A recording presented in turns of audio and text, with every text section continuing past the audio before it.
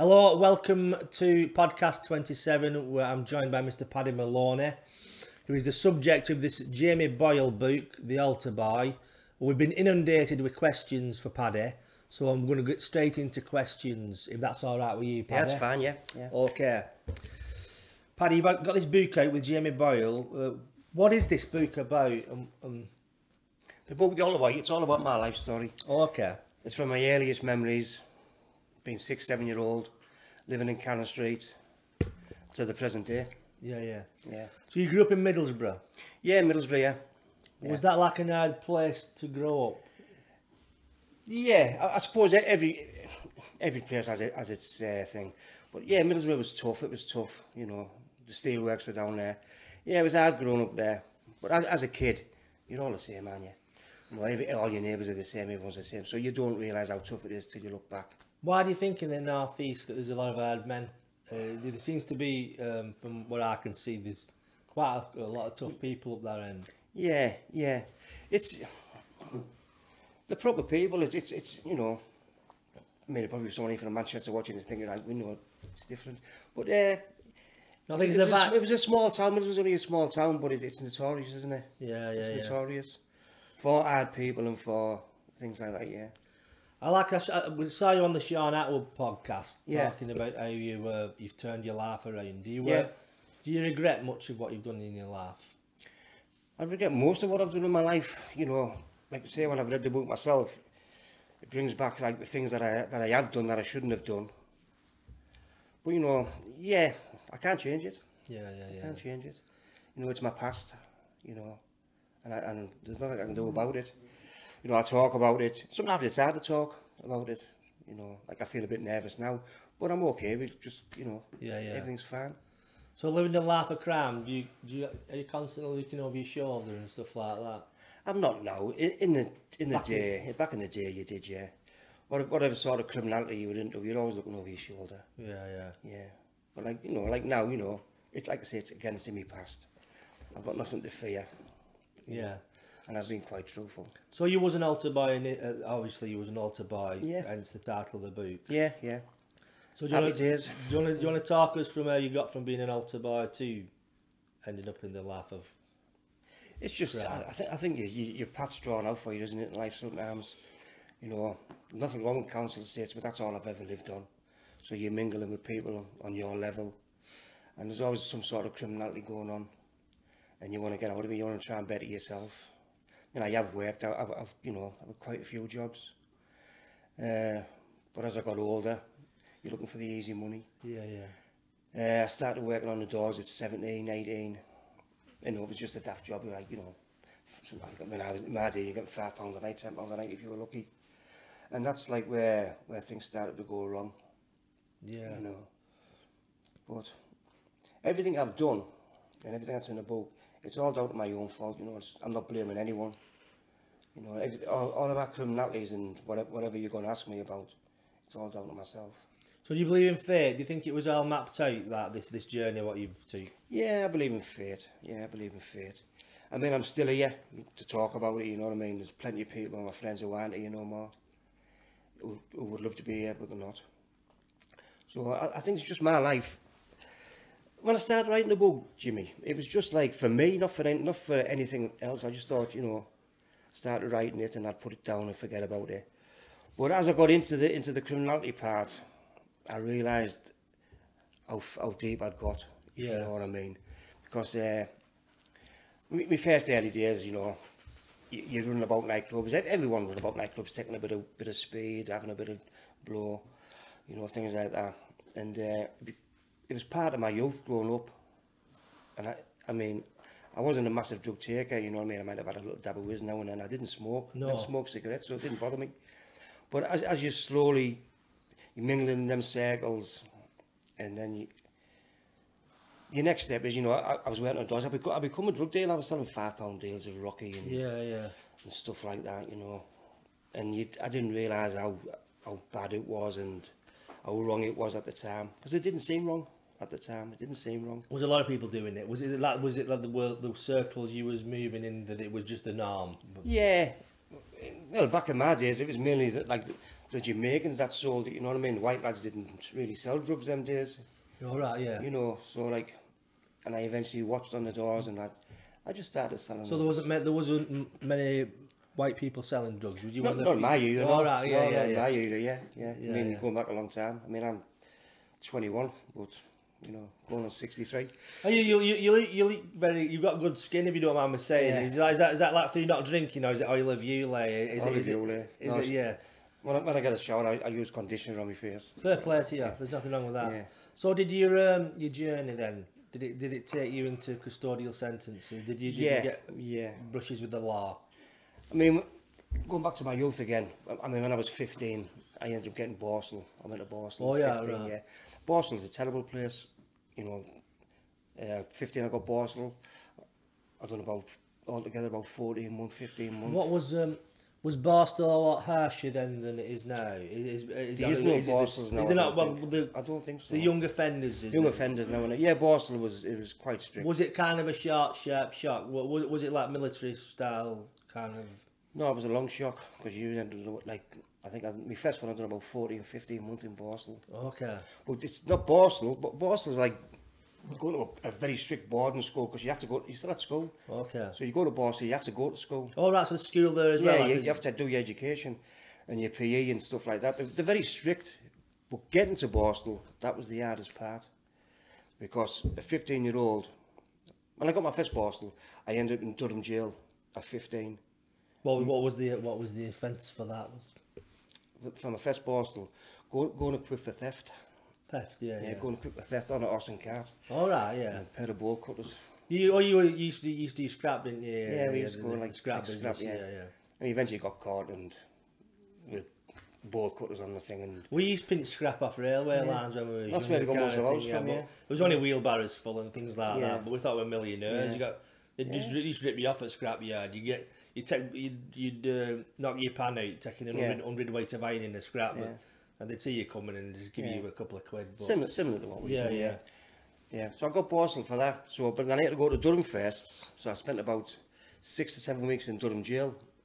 And that's when that that's where that Paul Sykes was in. That's how far I'm going back. All oh, right, yeah, yeah. Paul Sykes was in jail. You actually got to see Paul Sykes, yeah.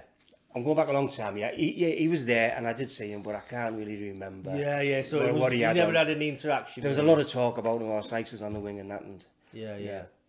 So then, you, then you're in Durham for six, seven weeks. But then you get to go up in Durham, you go to Strangeways.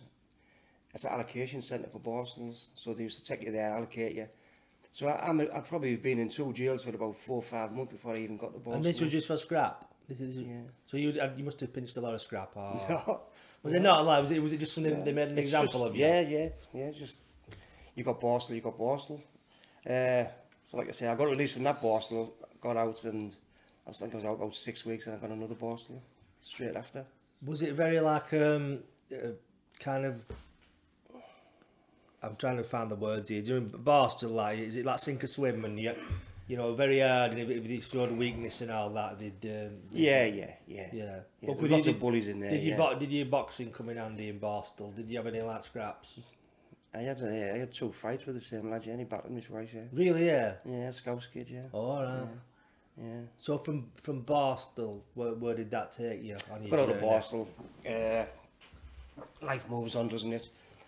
I, I tried to. Uh, I got a job, started working make my mum and dad proud and then but you're still in the same you're still in the same vicinity you're still in the same little town. And uh, I went from that I mean I've done a few daft jail sentences 12 months 18 months for, for like for, for silly things for like uh, fraud. Right, getting yeah. cars and HP and selling them and that. Okay yeah. Because there was no checks them days. You could buy a car in HP and go and sell it. And But was the thing as well? You we used to be in money from crime that, that a normal job doesn't really pay. Uh, would you? Would you? Did you have any kind of like formal skills like? Uh, no, Would you just like? no. That's one of my regrets. I wish I'd done a trade. Yeah. I wish I'd learned something, but I, I never. Yeah. You know, that just that just went past me. But then I moved on to where, like I say, on the doors went on the doors. because you've been to Boston, people talk about you. Because I was only young. Yeah, yeah. The doors, I was only 17, 18, 19. And you come to Boston, like young kids talk about you and that. And then uh, after me few jail sentences, I, I, I sound as though I, it might sound stupid to people watching, but I seem to move up the ladder a little bit from selling my five pound deals and ten pound deals. I started going up to ounces and things like that. And uh, I had some friends who were, who were a lot bigger than me in the game. And my main problem started when I went, I used to go to Spain and I met, I met a friend of mine in Spain, Okay. John McCormick. Right. Uh, and, and he was quite big over there. Unbeknownst to me, I didn't know what he was doing. But I met him in Spain. We carried on our friendship type of thing. And uh, we became, he was a major drug dealer, international. But uh, I'd met him, I'd met him about four or five years before in Middlesbrough. And what had happened, I just got out of one of my jail sentences and I was on my ass. I never got a penny. But people think you've got money. Yeah, yeah. So you had that like little Did you have to kind of put on the front that you still had money? Yeah. Like, yeah. with like you know paying the bills and putting the phone on the table. I couldn't do it, so I goes to see John. He had a pub over Thornbury, called the Thornbury, and I went in this pub and I wasn't. It's a place I never really used. You know what I mean? Yeah, yeah. And I seen John, so it's his pub. So he shouts me over. Everything all right? And I need to have a crack with you. I need to have a chat with you. And so I, I had firemen stood in me went, what's the matter? I went, I'm on my ass, John, type of thing. I'm on my ass, I ain't got a light. Can you give us a bit of graft? He went, what do you want? I went, a nine bar. So he said, come back in an hour. Goes back in an hour and he gave me a kilo. He went, just sort it when you want. And that's, we've become friends and that's when I sort of stepped up the ladder. Well, when you went to John McCormack's, that pub, to yeah. like get a nine bar, I'm not, I'm not asking for advice. I, yeah. well, how, how did how, hard is it to build up around? For, was there a, was the demand there? Did you, was you well connected? You had a network of people, or did you have to go start from scratch and build up a like? It's like building up a small business in a way, isn't it? Yeah, yeah. No, it, it wasn't that. It wasn't difficult. Like I said early on, from being 16 to 17, I was selling drugs in a small amount. So, so everyone gets to know you. I had a bit of a reputation for that sort of thing. So, no, it didn't take long for me to build it back up, you know. Right. And so like I've got the kilo off John and that's that really put me back on my feet, really helped me out. You know, so I carried on from there. John disappeared, he, he left uh, Middlesbrough. Uh, there was some, some controversy over a massive drugs haul uh, that had been caught and John ran away and stayed like to Spain. So now he's living in Spain. So I've lost all touch with John. But I'm still carrying on my little drug dealing thing in Middlesbrough. Uh, when I say drug dealing, it's just the marijuana. Uh, so I, I work with other people, I work with family, I work with other friends, and uh, I'm, I'm doing okay, I'm doing okay. I keep everything away from my family, my wife and kids. I treat it as a job. You know, I don't go home and talk about it. I don't, I don't buy flashcards or nothing like that. Uh, and I'm going on holiday, so we've got, we booked for Spain. So we go to Spain, me, Debbie, and and the kids, and uh, behold, who did I bump into? John McCormick. All right. I met him in Spain, and uh, the man had completely changed. He was absolutely uh, massive. I later found out. Uh, we have a conversation, and uh, we go for a meal on the night time. I'm only there for two weeks, so I spend a couple of days with him, and we're catching up. And uh, it's time to go home. And uh, he'd, uh, what they call it, he, he asked me if I had any money spare because was having a few problems, cash flow problems. So you think, oh God, no, fucking hell, I'm going to have to lend him some money here. Because he's done me that massive favour, got me on my feet. So uh, I left him two grand. I thought I'd never see it again. And he made these promises to me. Like saying, like, you know, I'll, I'll sort you out, pay you back, this will happen, that'll happen. Goes home and I never really thought no more about this. About three, four weeks later, I got a phone call off John. Do you fancy flying over? Need, need to see you. So I flies over on my own, has a meeting with John, explains what his business is all about, how big he is and that, and he invites me on board. Uh, it was quite quite a lot to take in. It was quite. It was one of them like requests where, where I've sat and thought about it, and yeah, you jump at it with two hands. And but then when I was on my own in the hotel room, I was thinking to myself, what am I doing here? What am I doing? Because he was he was going to be sending me like 200 kilo of Rocky home every month. So like, yeah, I was excited, but I was also nervous as well, because it's a lot. Next level. Yeah, it's the next level. I wasn't used to it, and I didn't know if I was capable. You know, so I, it comes home, and it arrives, and I start, and and I'm, I'm doing okay. How did they get it over? Or was it, how I did never wouldn't tell me that. oh, right, right, right. Yeah, that was the I, on a on a need to know on a need to know basis. Yeah, yeah. Uh, I just get a phone call and say it's in a van at so and so. Something that I travel for, something happens to be on my doorstep. So I mean, he wouldn't just be sending me 200 home, he'd be sending all around the country. Right. So I'd get about 200, and, and I had I had customers, I had four or five customers, I just used them. And it was, I, I was under the radar, you know, I was under the radar, because I, I wasn't driving about, I wasn't dropping gear off to anyone. Yeah, yeah. Five customers, and I was happy. Yeah. And, and, you know, it went on like that, and we become really good friends. Obviously, because I was making the money and he was making me money, you know, and uh, I started spending a lot of time in Spain. I mean, I was over there four or five months of the year. I stayed there, I, don't know, I, was, I was staying in a hotel on my own. Uh, I'd never stayed with John. And uh, we built this relationship up, and uh, it got to the stage where that I was getting introduced to more people and more people, and you become part of their syndicate thing, you know what I mean? Yeah. And when you want to get out, it's not that easy to walk away. You know, I'm not saying that anyone threatened me because they didn't, And I'm not making an excuse to say that I stayed in because of that. It's just that when you want to leave and you think, I've had enough of this, the pressure's getting to me. Because there was a lot of pressure. Was you looking over your shoulder all the time? Oh, ah. yeah, yeah. It's, it's, it's, I mean, then you get, you get paranoid. You know, your, your family life takes a, a back seat. You know, I, I was neglecting my wife, I was neglecting my kids, my family and that. So it's like you was like a full. It's like a full time job, wasn't it? Like Yeah. was it twenty four hours a day job? Yeah, and I was away from home four or five months of the year, maybe six months of the year. All right, yeah. I was staying in Spain. So it put a lot of pressure on my relationship with Debbie. So I, I eventually started wanting to like get out of it slowly and slowly. And uh, I found it difficult. Partly because I was used to the money Yeah. and partly because... And you developed a lavish lifestyle around the. Uh, oh, Sort of, yeah.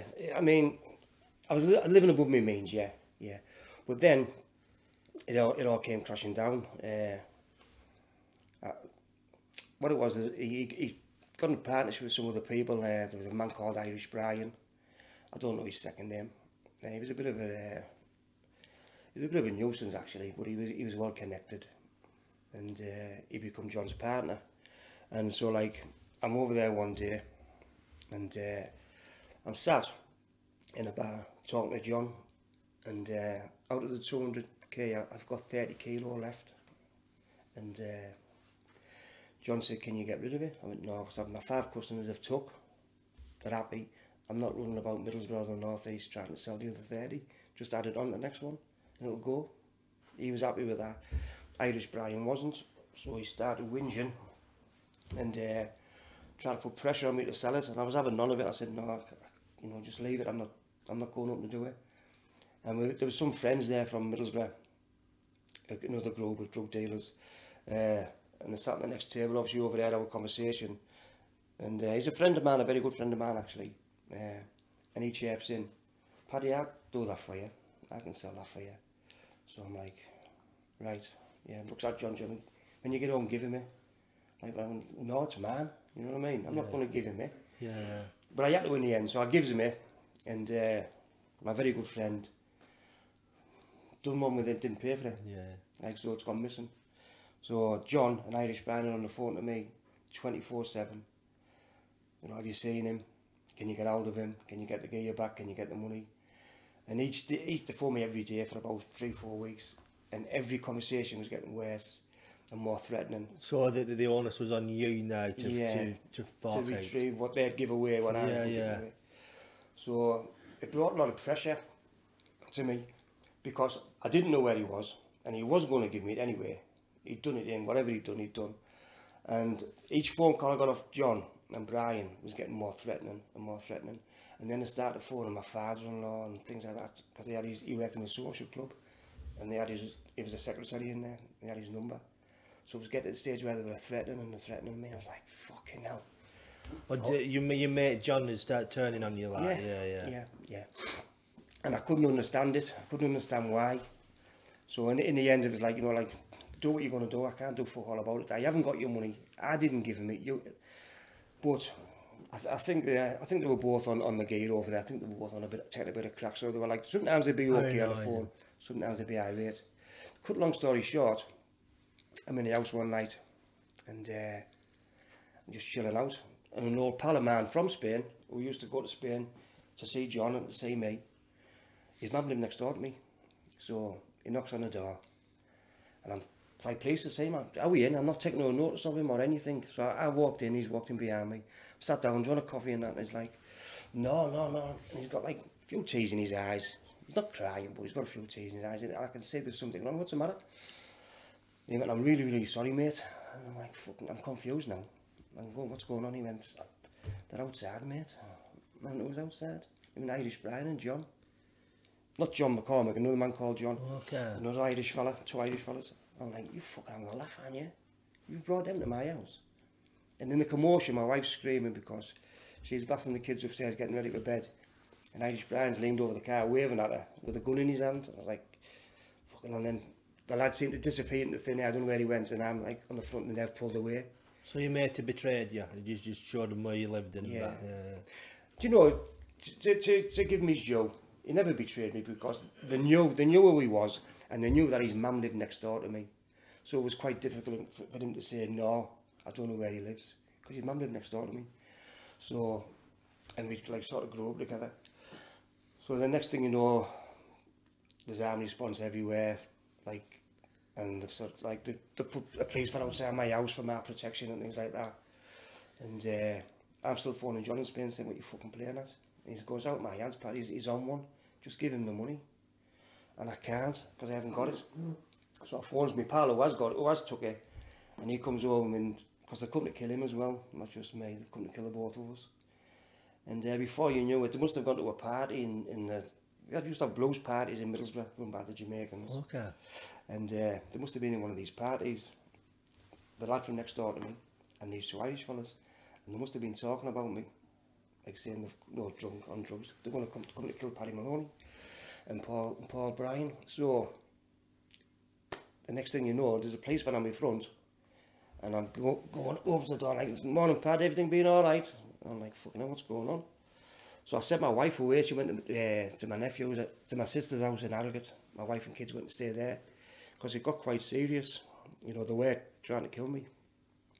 And uh, it's difficult to talk about because it's uh, so I'm on my own in my house and my brothers have come over and you know we're not gangsters we're just normal kids you know what I mean? We're just normal lads. It's, I'm out of my league and uh, I mean my other friend who was involved in who, who did lose the gear he's brought guns over and and uh, call them, crossbows and stuff like that. And I'm like sat in the house and I'm like, what the fuck's going on here? Like a film. Uh, yeah, yeah. And I've and I've sat on on my settee and the, the messing about with guns and that, and I'm, I'm like thinking, what the fuck's going on here? I'm gonna, you know, we're going to kill someone or someone's going to kill us. Yeah. And it seemed to last forever. It seemed to last for like for weeks and weeks. And it lasted for about four or five days. And then it all seemed to die down as quick as it started, it died down and then went back to Ireland and Spain. But that was a part of my life, what's in the book, which was like fucking Did hell. they just give up then after a while that they didn't get the money, or did you did you kind of like get the money from somewhere? Or No, no, I never ever paid him. I- And you know, I, I didn't feel no guilt because I knew that I didn't know the money. If I'd owed the money and I had the gear away, then yeah, I would have like tried to sort it. But it wasn't my fault. So later, so I, I gets out of the drug game. I have to get out of it because it's just destroying my family. So I gets out of it and uh, and we, we get a pub, me and my wife get a pub, we have a pub called the Halfpenny, and we're happy as Larry, you know, drugs have gone, everything's disappeared, okay. and, I'm, and I'm working on the hours God sends to make a living for my family and that. And uh, it, it happens, uh, my friend who owed him the money is in Amsterdam, on holiday in Amsterdam for a weekend, lad's weekend away. And uh, he walks into this pub. There's a lot more to it. He walks into this pub and un unbeknown to him, it's John McCormick's pub. So next thing he goes in and like the doors are shut, the lockers, and, and John's got him. He's got him in, in the pub. And uh, John phoned me. Paul gave him my phone number. And he phoned me at the pub and he went, Are you Pad? It's John. I said, All right. What do you want? He went, I've got your mate here. He's blaming you. He said, You had the gear away. And I went, I don't give a fuck what he's saying, mate. I'll put the phone down on him. But- And you know I never put the phone down. And then about four weeks later, uh, Paul turned up.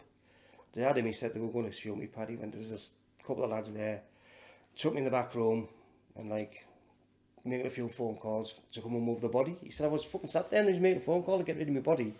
He went so uh, in a split second. He said I just looked at the window. He said I just ran and just dived through the window, landed on the on the main road, fucking got hit by a car, ran down the road, police picked him up and sent him home, deported him, got him back home. So that's how serious it was. I'm thinking, and John phoned me and said, do you fancy coming over? We need to talk. I went, no, I'm not coming over, mate. Like, he kept phoning me and phoning me. And then I got a phone call once and he went, Paddy, can I come and see you then? So after the few phone calls, I said, yeah. And he come to the pub to see me. And uh, we had a discussion. I had all my paperwork in order. Like, and at the end of the day, he owed me 30 grand, not the other way around. Yeah, yeah. And we had it out because I hadn't, I had had my wages off the 200k type of thing. So we sat and it sounds stupid, but he had a, he had a little, he had a little cry and give me a cuddle and it was all over with. So that, that was... That was the death threat finished, yeah. And we, and we stayed friends. We stayed friends because, as daft as it sounds, I don't know. I mean, I mean, I, I I got on really well with Johnny. Got on really well with me. I think it was the drugs that got hold of him and, and turned him as well as Irish Brian. But he's dead now. He got he got shot in Denmark. What happened to Irish Brian? Did he just go off the scene or... No, he got shot in Mijas and put in the car and set on fire Shit. in Mijas. He's so they're both dead. Had nothing to do with me in either. so like, no. But Irish Brian got killed in Spain. Yeah, and John got shot in Denmark. So you was in a pub at this... Was you still in your pub at this time? yeah, we've had happened? pubs ever since then. We, we stayed in the halfpenny for. I was there about 14, 15 years. It was on the estate where I grew up. absolutely lovely little pub. Uh, then we went to live in Spain, me and the wife, nothing to do with drugs or anything, uh, for about a year, two year. We were struggling to make ends meet, she was in hairdressing. Whereabouts in Spain was you? Uh, at first we were in Fungarola. Okay. Yeah, but Debbie was working, she had a little salon, and I was doing the fags from Gibraltar. Oh yeah. So we were okay, but getting the kids into school and that, and we started to struggle a little bit. We got a mortgage over there, and, and we've like struggling to pay the mortgage with all the other bills. So we got the offer of a social club in Middlebeck. So we put in for it, and we got the, we got the club. So we come home. The club had accommodation, so we lived upstairs in the club, and uh, we were there for 14 years. We just we only left last November. But uh, so I haven't done drugs for a long time now Yeah. you know, I still know the people and people still know me and I'm still classed as a drug dealer type of thing. But I'm not doing it. It's no glamorous laugh then. Like, see, like, see in rap videos, no, the, the drug no, dealer, is yeah. it just mither and, and stress and worry and... Yeah, of course it is, yeah. You, you, you, you can't trust anyone. You don't. Tr you Did can't. you ever get taxed at all with be, like, anything like that? No. No, I mean, you had, you had, the, you had Lee Duffy on the scene. Uh, he was phenomenal. He was, he was, young kid was a monster. Did you know him? Did you know Lee Duffy? Yeah, I knew Lee Duffy really well. Yeah, he was best friends with my brother-in-law, uh, Dale Henderson. And I think that's the only reason I never ever got taxed because he was close to my family. Yeah. Well, Lee was a monster, you know. If you had something and you wanted it, you just take it. There's nothing you could do. Yeah. You know what I mean? I wasn't in that league where you could shoot him because that, that wasn't me. He's just like a legend up your way, he? Like, yeah, of course he is, yeah, yeah, yeah. I mean, he was only a kid when he died. He was only 26. But I knew him when he was 21, 19, 20, 21, 22. He was a monster. So he's just operational from 19 to... to Yeah. Yeah. Till he got killed, yeah. Yeah. But um, no, I never actually got taxed, so I was quite lucky in that in that respect. But then, uh, so like I haven't done drugs now for a long time, 14 and a half penny. Someone would phone you now and ask you to get get them something, if you could, you would. Yeah, as yeah. a favour. And then we moved into the Middlebeck Social Club, and I was there for a long, long time.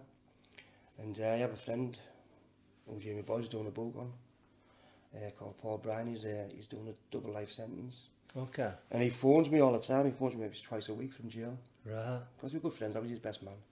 And uh, he says to me, uh, blah, blah, blah. I was talking to uh, Mick, uh, I forget his name now, a, a scout could call Mike, Mick. He used, oh, he used to get geared off years ago. When I say years ago, I mean 35 years ago, 40 years ago. And I went, fucking hell. Is he alright? He went, yeah, yeah, yeah, I've given him your phone number. I went, what have you given my fucking phone number for? Why have you given Mick, Mick Morgan, why have you given Mick Morgan my phone number? Because he asked for it. I was like, fucking hell. So you know what's coming next. About four weeks later, I've started having my Sundays and the phone went. There's Mick Morgan. I haven't seen this kid for 40 years, so all I can remember Mick Morgan as is a snotty-nosed little Scouse kid Yeah, yeah. in a red XR2. Okay. That's all I can remember him as. And that's the image I've got in my head. So he's talking away and he's telling me he's just finishing a 14. He said, I'm just finishing a 14 pad. You don't mind me phoning? No, I don't mind you phoning. Next couple of phone calls, I've got some uh, whiz there, can you get rid of it for us? I went, not really, Mick. I said, I don't do it no more. Even that's what Paul said. I said, not really. So a few weeks go by, he's still phoning me. And uh, I know somebody who wants some. So I say, yeah, send it down as a favour. I take it off him and give it to him.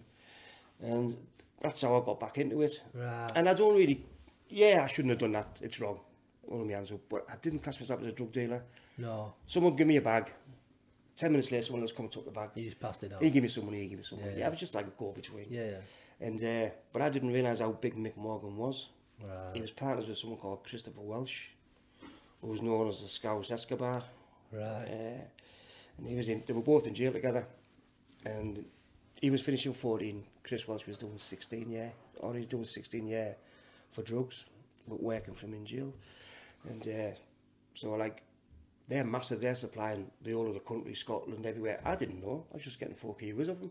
I didn't know what they were a small time, like, Yeah. yeah, yeah. Yeah, and they all slowly got caught. When they all got caught, every time the raided one of their safe houses, my, my phone number was there or my name in the debt list. So they just started looking into me and looking into me, and eventually just thought we're going to pay him a visit. Come to Middlebeck Club, I don't know, six o'clock in the morning, past five in the morning. That was it. I was nicked, just on conspiracy. Never found with no drugs, never found with no Just the number. Just because you had your number and you and I couldn't explain wh- why. And there was three text messages on, on the phone that they found in prison from Christopher Welsh to me. And Yeah. it was just conspiracy is unbelievable. Just What, what, was, what was the charge? Mm. What, what was the, how many years did you get for that? uh, I'm still on license now, but I got five and a half years. Yeah. Yeah, like it was like I was 58, 59 years old. I was like thinking, fucking. hell. And that came out of the blue. You, you had no inkling, yeah, inkling no, that that no, was I, around the cards. no, I didn't. I'd, I'd stopped working with them. I- I'd finished. You know, the lad I was getting it for, we'd had, he'd give me a few complaints, so it, it just stopped. So I wasn't even working with them. It was like I got arrested about six, seven months after them. They were all on remand. So in your previous incarnation as a drug dealer, you was you was never on the radar with the police or anything like that. You was completely low key and I want to be, I'd have been on the radar, yeah, but they never had the technology in my Yeah, day yeah, that they have now. yeah, of Do you know what I mean? It was all like, it was footwork with the police. They didn't have anything like yeah, yeah. I, I mean, I'm going back to the early 70s, 80s. So, like, they didn't really know anything. But today, I mean, they're all clued up, and I mean, that conspiracy charge there, I hadn't been to jail for a long time. I hadn't been locked up for a long time, and I thought, they have nothing at all on me because I haven't done anything. They found no paraphernalia, found no drugs, no money. Never even found the phone. So, like, I was thinking, but then as they're going through the thing, they have a machine. My wife said, because I was locked up, they were putting these phones in this machine. Phones that were broke with backs off, and the kids' old phones. Yeah. And they put them in a machine, and all of a sudden he shouts, yeah, I've found it, boss, this bloke. And then one of my kids' phones, the phone number they were looking for was in their phone under dad. Right. So they attributed that number to me and that number to them. And I got that got me five and a half year, yeah. So where did you end up? What prison did you end up in then? Uh, well, I got, I was in, my trial was in Liverpool, so I ended up in Walton Jail for a while, for a few months. Uh, it's, it's a, it's a bad old jail, it's a rough old jail, but, I mean, I, you know, I was 58 years old, so it, I didn't bother with anyone. I didn't cause no. Did, no did trouble. you not? Did you not get in any? Did, no, you, was no no. You didn't get any mither off anybody. Any no, any hassle off people. No. Some of the lads who, who, who were on my kit, who were on, on my trial, obviously we all went to court together, so we, we sort of ah yeah. Oh, right, so you had, you had a bit, yeah. bit of like a backup kind of yeah, thing. Yeah, but no, I never got no problems. Uh, it's a massive jail one, it's absolutely massive. Once they've uh, Googled you and they know you're not a nonce or anything, because I'm from down north, yeah, east, yeah. the northeast. I was okay, so I stayed there for a while. Uh, then I, I went to a prison in Preston called Warmot. Okay, yeah. Yeah, and uh, I done most of my jail in there. And that, you know, you're there, you're there, no, no- nothing you can do about it. Yeah. It's, it's one of the worst places you can ever be in jail. Jail's disgusting. What's it? I mean, I've never done jail kind of thing, but um, what was it like? You know, when when initially when the, well, you locked up twenty. How many hours a day you locked up? Most jails now, when you get, not remand jails, most jails now are working jails, so you have to work in them. Okay. You have to get up and you have to go to work or you have to go to education. So you're out yourself, say, half eight in the morning, nine in the morning. Yeah, you get a sandwich at dinner time. Um, half eleven, you're back in cell for 10, 15 minutes, half an hour. Then tea time, you're back in. You're locked up at half past, in Wymott, you're locked up at half past five till the next morning. Do you, you have a, do you have cellmates or do you have your own cells? How does that work? What's the Usually, usually you, you're in a cell with someone else. Yeah, yeah. Two or three people. But then when you when you get to Wymott, you go on a waiting list for a single cell. Yeah. I was on a waiting list for about eight months, and I got my own cell, which is like heaven. You know what I mean? Was, no, no worse than sharing a cell with someone. Who you, you don't, don't really well, you don't know what they're, what they're in for, do you, kind of thing? Uh, well, you can, it's, it's, I mean, these phones now, it's, I can just phone Alice and say, Google Jimmy O, see what he's in for. and it's dead easy, do you know what I mean? So, like, yeah, they can know what you're in for. But uh, it's not, it's just yeah, nostalgia. It's your personal space. Yeah, yeah, missing your family yeah. and your wife and stuff like no, that. Toilet, going to toilet, and you've got to do that in front of someone. You know, yeah, what I mean? is, it, is it an actual toilet or is it a bucket or is am I am I glad to back when in I, the When past? I first went to jail, when I was doing my bosses, it was a bucket that was in Durham and that. But now they have toilets in. I mean, my house is like a jail and I have a piss bucket in bed. Yeah. You shouldn't be saying this, really, but you know what I mean? It's all unprepared, really. Yeah. You'd probably be yeah. nasty about in jail in my fucking house, yeah. to be honest with you. But... So, so Wal Walton was... Um, a, a rough old place then. Yeah, Walton's a rough jail, yeah. But I mean, Yeah. there's some screws in there, but all right, they were proper, proper, you know, proper men, proper, proper screws that. But no matter what jail you go to, you're in jail. So all these kids that say it's, it's a piece of piss. Well, I didn't find it was a piece of piss. I mean, it destroyed me nearly. It's hard. It's dead hard. Yeah. Some people do it as a career, don't they? So it's, it's a badge of honour to some kids, isn't it, that they've been in jail kind of thing. That they're um, Yeah. The young ones, I mean, they're only young, and obviously so the carefree, they're not, they're not doing massive sentences. But like for me to get five and a half year at my age, that's the time of life. Yeah, yeah. It was hard, you know what I mean? And it was, my, my kids are all grown up. You missed five. Did you, was it first, did you do a straight five or did you do... No, I've done, I've done, done just under three. right, yeah. But uh, it's not that, it's my age. My, my kids were like 23 year old, 24. So they've got that. It's in, in the local papers. It's on the news. Yeah, yeah. it's all yeah. over Facebook. You know. When you was doing all right as a public, uh, a, Yeah, land- a landlord. So like it's thing. people going like, nah, I told you he was still out. It's, Yeah, yeah, know, yeah. it's things like that. So my family suffered more than me. I was in jail. You know, you switch off in jail. You get your land there. You know, you think, can I get through this? I can, and you and you have to get through it. You no choice, have you? Really? no, Yeah. no, you've got to get through it. You seen any bad stuff in there, like people getting stabbed up and Yeah, it's, beaten of, up and all it's that? a dangerous place, jail. Yeah, yeah. yeah. Especially with the young ones today. I mean, because, you know, all this, uh, what they call it, sort of drugs, what they call it, medication drugs and that. Yeah, yeah. I mean, they'll sell us all for, for it, you know what I mean? Well, Yeah. That didn't bother me, I wasn't involved in that, so... But I used to watch and think, I've got kids your age and, you know, Yeah, it's yeah. scary. Jail's a scary place. So was that the first time you was in jail apart from Boss? Have you done a few jails? Yeah. Uh, was that I've the, done, was, that the, my boy, I've done a, so I've done a few jail sentences. Five and a half significant sentence. I've done a two year eight. I've done 18 month. All in all, spent in jail. I've spent about 10, 11 years in jail yeah, yeah. in my life. 10 years, which is wasted. But like when you're younger, them young Borstal sentences, you, you get, you, you know, you don't get them years back, but you, you get your life back. But like, I've been quite lucky because my family stood by me. Well, Yeah. Debbie, Debbie's Debbie, your yeah. wife. Oh, yeah, How did you meet yeah. her? Uh, Where did you meet Debbie? In, in one of the pubs I worked on the door. Oh, yeah. Yeah, yeah, yeah. I mean, I've been with, I mean, 30 odd year now, me and Debbie. Our eldest, my eldest son Debbie is 32. So, she's been a rock, you know what I mean? I put her through some shit. But she's always stuck by you when you Yeah, inside, yeah, never yeah, wavered yeah. and stuff like that. No, That- never. Yeah. I mean, my other senses, I, I wasn't like, they, they weren't bad, you know what I mean? Were they drug related? Uh, obviously, you had the scrap metal thing when you was a kid. Well, that was when you a kid. No, I'd, the sentence before the, this five and a half year, it was like just under three year. That was for. Uh, I, I got filled in. Like I had a fight in the, in the street, but it was on the main road. Right. I had a fight with a, with a lad from Middlesbrough called Darren Murray. Big, I mean, Mike Tyson's double. We had a fight and uh, the police come to break it up and he hit the Bobby with an axe over the head. He was trying to hit me with the axe, but he hit the Bobby over the head with the axe. So we both got locked up for the fray and I ended up getting jail. So I, I got just under three years for that. And Debbie was pregnant with our Curtis. So it's just like when you read the book, you know, when you read the book, there's Yeah, stories yeah. like that in it. And then people will go like, oh, fucking hell, is she, is she? this is the book. It's a, I'll put a link to the book under this video, kind of thing. The altar boy. Yeah. So I mean, I don't know, I mean, that's Debbie on the back there. That's that's when we were going to Spain. right, And that's when I come out of jail this time. right. I mean, but like, yeah, I, I always knew I was safe, you know, with Debbie. I mean, she never missed a visit, even when I was in Walton and Wymott. She, I was in Wymott like 18 months and she'd come up every fortnight. Yeah, yeah.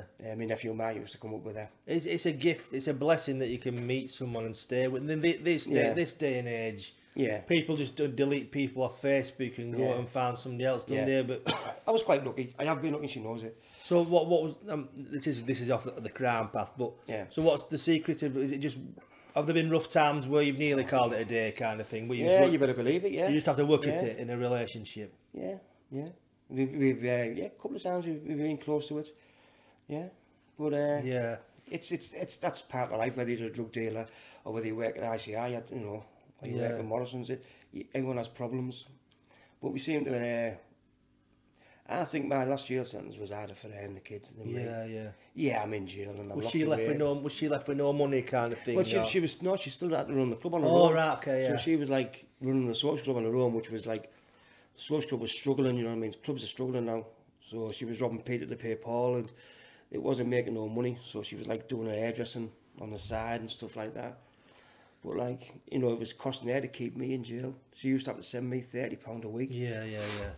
As people who, who don't, who've never been to jail or don't know any sort of criminal type of thing, think you go to jail and you get a like, you know, a, a nice life. You don't. That thirty pounds for my toiletries, for my telephone, for my television. You have to pay for your television. You don't. They don't give you one. Okay. You have to pay for it weekly, and if you don't pay, you don't get a telly in your cell. So like, it was costing her thirty quid. So I knew she was struggling. So that was hard. And what time? What what decade is this? That was this. This the, is just. Uh, 2018. Oh, right. So it's, you, I've just finished, yeah. Oh, I'm still shit. on license now. Oh, shit, right, yeah, right. still on license now. Oh, Pardon me. Yeah. Right. So, and then when I ended up from, from Weimar, I went to Kirk Leverton, which is a, a cap D jail.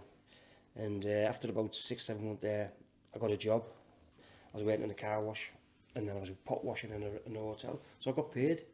But the jail take 40% of your wage, so then I could like help support Debbie. I just late, so they let you they, they let you out to do, do to do work and you come back in the prison. Am I right in thinking yeah, that? Yeah. yeah. Okay. Yeah. Yeah. Right. Yeah, I th- you know you have to be there a while. Like so, like when I was doing the car wash, that was in the that was in the prison grounds. Okay. Like you come get your car washed. All right, yeah. So you get a bit of a wage there, so you can buy your own toiletries and that. So I didn't have to depend on Debbie then. And then when I uh, when I got the job in the in the restaurant, uh, Chadwick's in Maltby, lovely restaurant. Uh, I was pot washing in there, and uh, I got a wage. I think I was picking maybe as 120 quid a week up. Right. I would have been picking more up, but the prison take 40%. Take forty percent. So I could give Debbie money now. So that, that was a massive relief, Of course. you know. Because there was no money. I had no money put away or anything like that, you know what I mean? Do you, do you regret like um, the, the you know over your life doing that all that carry on? Do you know, a lot of money went through your hands? Would you Yeah, say- yeah, I've had say? lots of money through my hands and I've wasted it. You know, you know, I, I you know, I mean- yeah, I've, I, I lived, I, I've had some really, really good times and I've had some really bad times. Yeah, yeah. And, and, that- and that's, that, that, that's the life I chose, you know, whether it be right or wrong.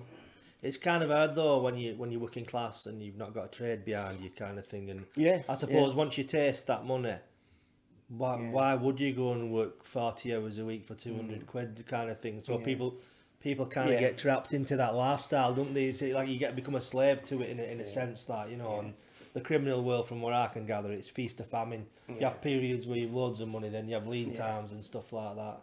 But you, but you know, like, I'm not making excuses. Back in the day when I was a drug dealer, the drugs were, they weren't, they weren't harsh drugs, you know. Like nowadays you've got crack, cocaine, all that stuff, heroin. It's all very addictive. Marijuana and a bit of whiz, to me, was, was I know people are going to like, say, like, he's talking shit, but they were quite harmless. Yeah, yeah, I mean, yeah. cannabis is like legal in most countries. I mean, I mean, but even the cannabis now, they, they've, they've crossed all the Yeah. strains and things. So you've Yeah. got super skunk and it's, it's knocking Yeah. people off their heads. But I suppose the, it wasn't there it was it was a different it was a different game then when it was it was all Rocky Black as opposed Yeah, to like skunk. yeah, there's all that soft blackies, putty stuff and Yeah, yeah, uh, soap bars from Spain and that. yeah, yeah. But like, I'm not being excuses. I, I mean, I've never dealt in crack cocaine or anything like that. But you know, everything comes to an end, and and everything I've done wrong, I've paid for. Yeah, yeah. I've never been like one of them people that got away with it. Really. So uh, were the- were some of these people like they're not really bothered? It, it is really. You, you kind of regret what's gone on, and you Yeah, regret you do, yeah. the time in prison and stuff like that. Yeah, because when when you're in prison, like I say, you were there. You've got to get on with it. It's the people that you leave behind that suffer. Yeah, yeah, You know, like even when I was in Borstal, I must have broke my mum and dad's heart. yeah, yeah, like yeah. 15 year old. yeah. Well, you don't think at the time, do No, you, you don't think you at the know. time, you know. But like when, when I look back now and I look at, read the book or I'll watch the podcast or I'll go and watch your podcast with you now and think, I'm glad somebody that. watches it. Nobody watches yeah. it. So thank like, you very much. Yeah. I know one, I've not got one viewer on it, yeah. but thank you very like, much for that. But like life's strange, isn't it? And yeah. it, you know, it takes you where it takes you. And uh, I'm done now. But yeah. um, Jamie Boyle says that this is the best book he's ever. Well, Jamie's wife says it, Shirley.